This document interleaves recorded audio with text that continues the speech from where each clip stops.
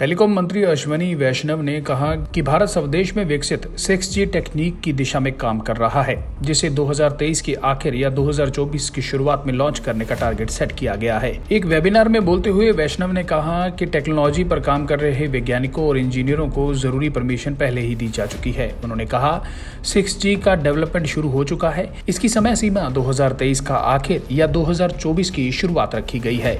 इसी दिशा में हम आगे बढ़ रहे हैं। हम भारत में टेलीकॉम सॉफ्टवेयर को डिज़ाइन कर रहे हैं। जो भारत में बने टेलीकॉम डिवाइस भारत के टेलीकॉम नेटवर्क में सर्विस देगा और ये वैश्विक स्तर पर भी भेजा जा सकता है।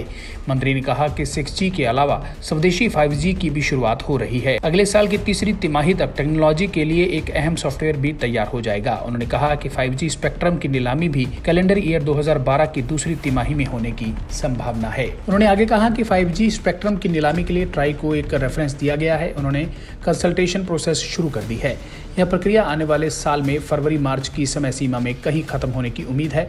फिर नीलामी प्रक्रिया कैलेंडर ईयर 2012 की दूसरी तिमाही में होगी। इस साल की शुरुआत में केंद्रीय मंत्रिमंडल ने टेलीकॉम कंपनियों की शॉर्ट टर्म लिक्विडिटी जरूरतों के साथ साथ लॉन्ग टर्म इश्यू पर ध्यान देने के लिए नौ सुधारों के एक सेट को मंजूरी दी थी। ब्यूरो रिपोर्ट, सच कहूँ।